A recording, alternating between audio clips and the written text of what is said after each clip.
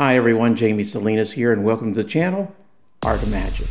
In this episode, we're going to discuss about what to do when you are approached or asked to perform some magic at a moment's notice.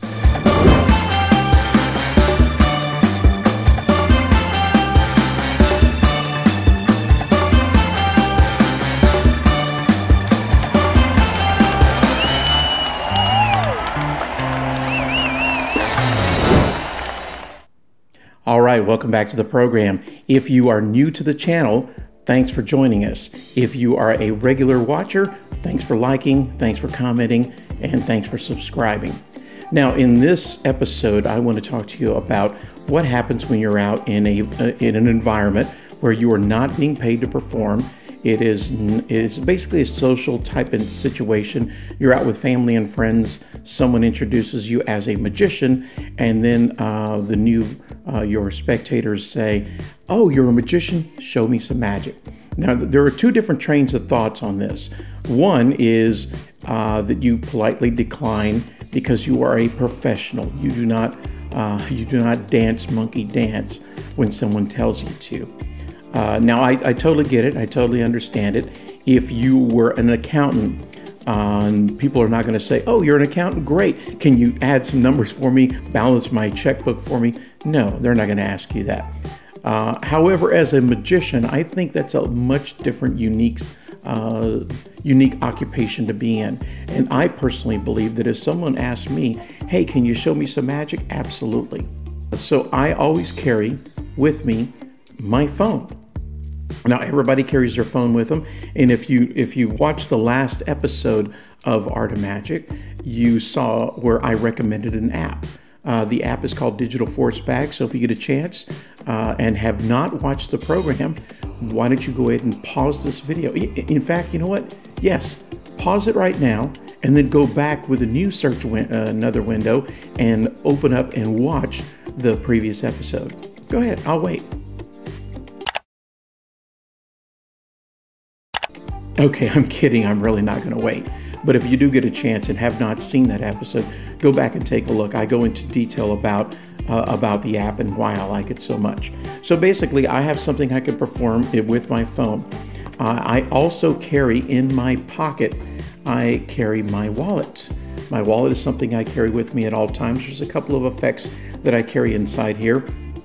One is from Paul Carnazzo, uh, Mental Voyage. If you go to his website, mentalvoyage.com, uh, I'll put a link here for you. Uh, check it out. He's got some really great ideas and some really great magic mentalism that fits in your wallet. I also have some loops inside my wallet. And I have another effect called To Do Voodoo, and it's created by Rick, Rick Lax. It's a very simple effect, very straightforward, direct, easy to do, and it's pretty damn amazing. So that's something else I always carry in my wallet.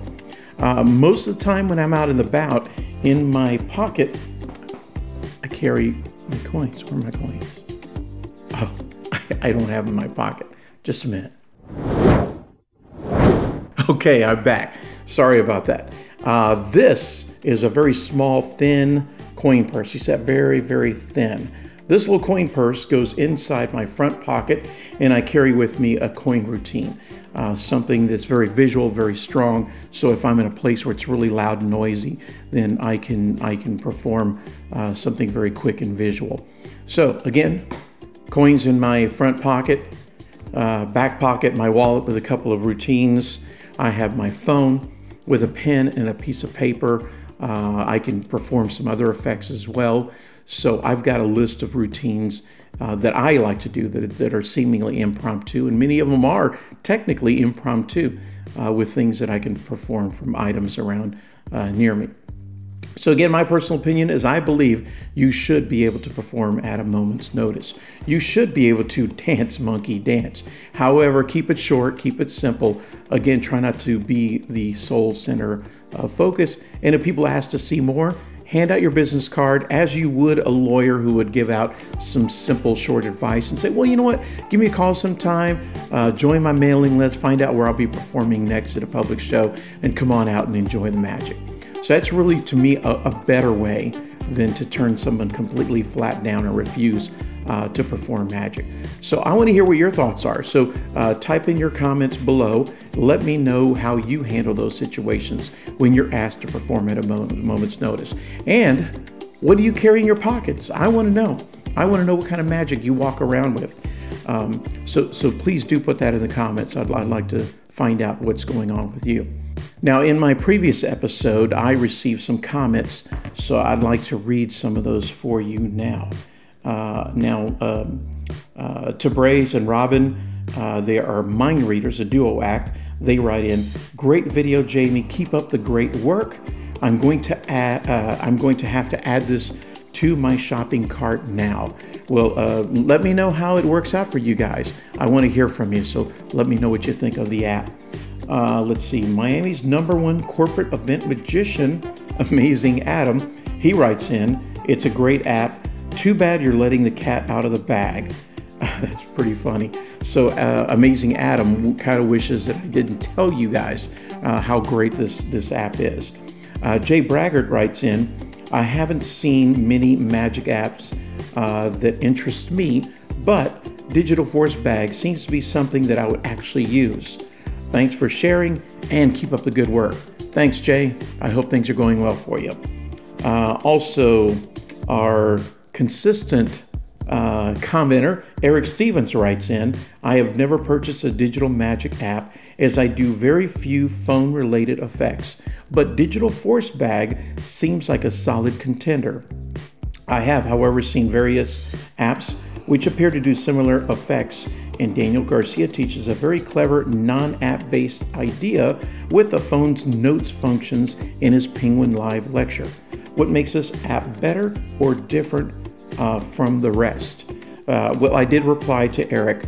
I do remember Daniel showing me his idea many, many years ago, what he does, and it, it's a really great idea. So if you don't already have Daniel Garcia's uh, Penguin Live lecture, I highly recommend you purchase that and get that uh, downloaded uh, today. You can find out how he how he has created something that you can use use it's built into your phone. Uh, as far as comparing it to other apps, again, I'm not a big app phone app person, so I don't have a lot of others to compare it to. So uh, uh, I want to hear from you guys. Are there some other apps that are similar? What again? What are you using?